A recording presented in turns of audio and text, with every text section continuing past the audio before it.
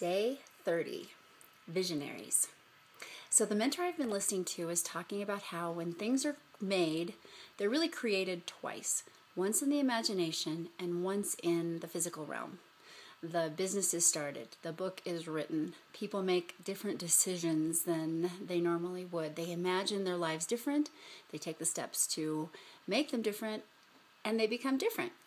Um, my question for you today is what makes somebody actually take that step?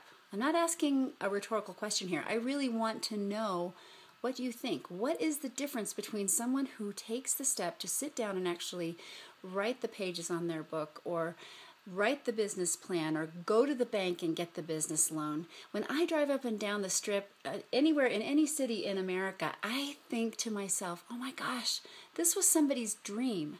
From the biggest um, corporate giant to the smallest little mom and pop thing. I, that's how I look at um, business and entrepreneurship. I think that is somebody's dream that they actually took the time to make happen.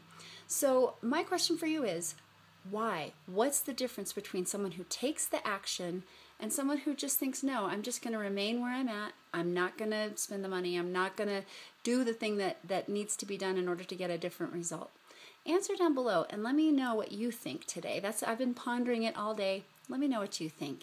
And remember, you are loved. Bye-bye.